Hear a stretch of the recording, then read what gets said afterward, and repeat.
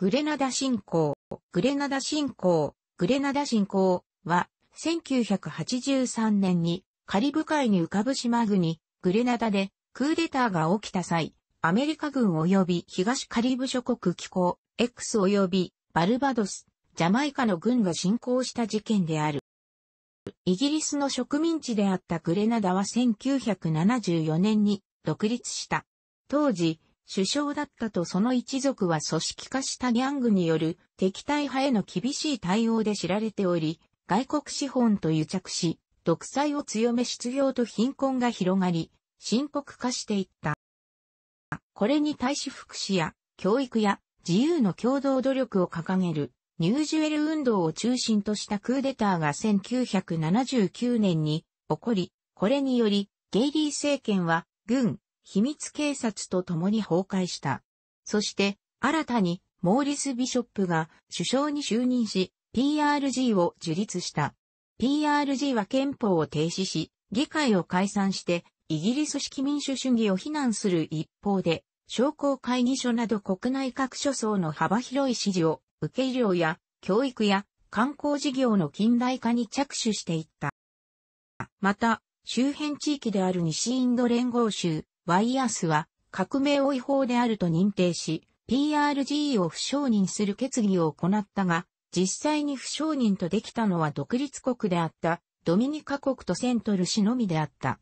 1980年には PRG が政権を批判したため、ガイアナとの関係が悪化し、ジャマイカでも左派政権が倒れたために次第にグレナダは孤立化していった。一方でグレナダは東側諸国に明確に接近しており、ソ連のアフガニスタン侵攻に対する国連の非難決議にキューバと共に反対し、政権成立直後からキューバなどによる軍事援助も受けいた。一方で、アメリカ合衆国大統領に当選したロナルド・レーガンは共産主義と対決する姿勢を明確にしており、1980年11月にカリブ海イニシアチブを発表しに援助を与えるが、銀行はクレナダに対して援助してはならないと声明した。この措置はカリブ共同体諸国の反発を招き、かえってはイアスを除くカリブ海諸国をクレナダと共存する意思で結束させることとった。1981年にはワイアスが東カリブ諸国機構 X に発展し、クレナダもその一員となった。しかし、周辺諸国の PRG 政権への不信感は払拭されたわけではなく、1982年12月には、東カリブ安全保障機構 ECSS が成立した。これは、X からグレナダとセントクリストファーネービス、エーリョモントセラトを除き、バルバドスを加えた地域安全保障システムであり、グレナダの PRG 政権を警戒してのものであった。グレナダは、ソビエト連邦やキューバをはじめとする共産権諸国と軍事協定を結んでいただけでなく、3000人の兵力を持つ東、カリブ圏内における軍事大国であったためである。1983年3月以降、レーガン大統領は、グレナダの軍事基地化を明確に非難するようになった。3月23日には、グレナダに巨大空港が建設されようとしていることを指摘し、これはソ連の軍事基地となると訴えた。また、同時期には、X とアメリカの軍艦がバルバドスの軍港から出港して、グレナダ海域に接近するという G 行動をとっている。就任直後からグレナダ侵攻を想定した軍事演習をプエルトリコのビエケス島で行うなど圧迫を強めていった。1983年10月13日、ビショップ首相が急進的なレーニン主義者である副首相を担いだ人民軍司令官によって監禁された。アメリカは翌15日にビショップ救出をバルバドス政府に依頼するなしていたが、19日にはビショップ派の国民が放棄し、軍と戦闘が起き、その最中逃亡したビショップら閣僚が軍によって銃殺される事態となった。コードとオースティンの革命軍事評議会政府 RMC が成立し、グレナダ総督は投獄され、戒厳令が出されるなど事態は緊迫化した。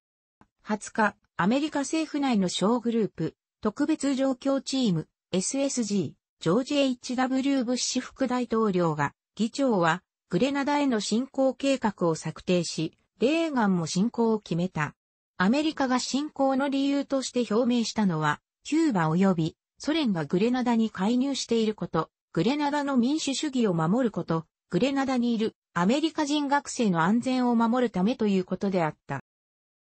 21日、バルバドスでグレナダを除く X 諸国とバルバドスの緊急会合が行われ、ジャマイカとアメリカを招請して、グレナダに侵攻する決議を採択した。この会議では、X 条約8条に基づく適当な措置を取り、グレナダ総督の下で民主的な選挙開催を要求するというものであった。ただし、X 条約による軍事措置は外部からの侵攻を根拠としており、この点は国際社会からの非難を受けることになった。同日、グレナダでは戒厳令が解かれ、24日には商店や学校が再開している。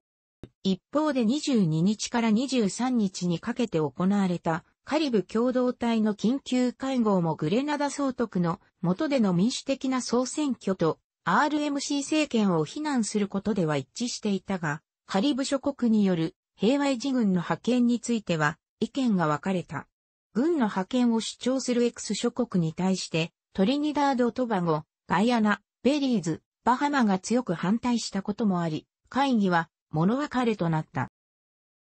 10月25日午前5時に開始されたグレナダへの侵攻は宣戦布告は行われず、アメリカにとってベトナム戦争以来初の大規模な軍事行動となった。アメリカ軍によってこの作戦は、アージェント・フュリー、アージェント・フューリー、抑えきれない奮闘と命名された。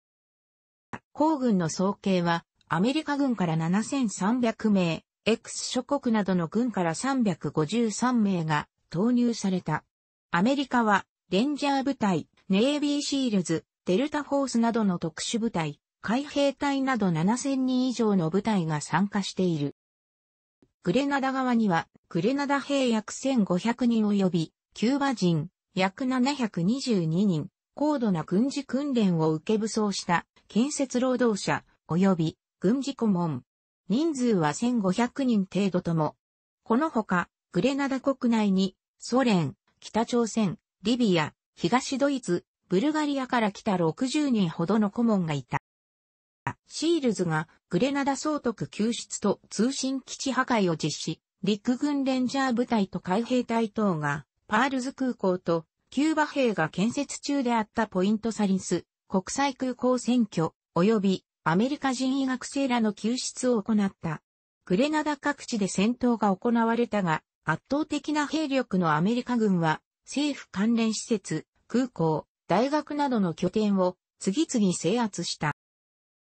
戦闘は数日間続き、アメリカ軍は19名が死亡、116名が負傷し、グレナダ側では兵士45名、民間人は少なくとも24名が死亡し、兵士358名が負傷した。また、キューバ人は24名が死亡、59名が負傷し638名が捕虜になった。それぞれの人数については資料により若干の違いが。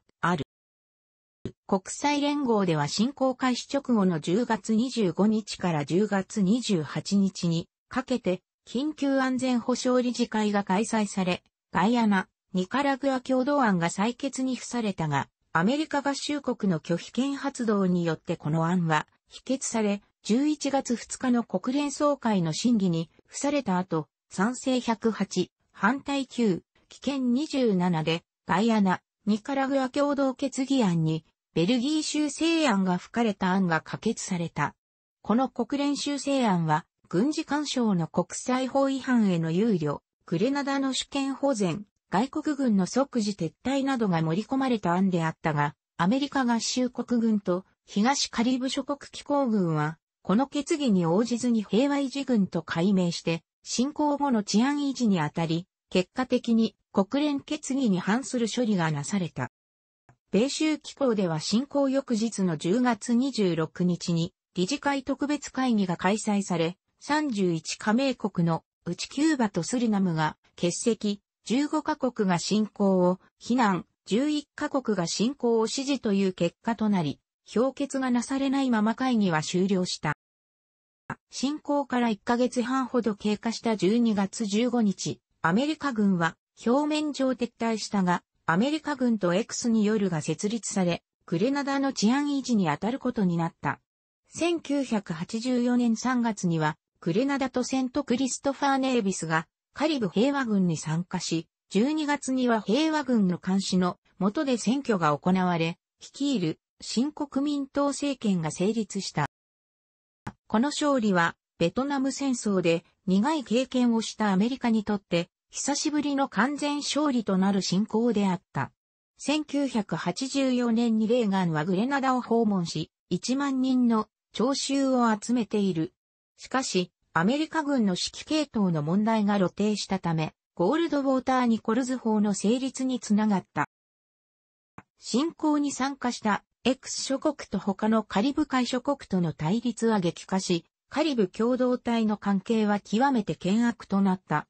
1984年5月のカリブ海域内貿易は前年度から13%減少している。しかしグレナダ債券の取り組みをする中で関係は改善されていった。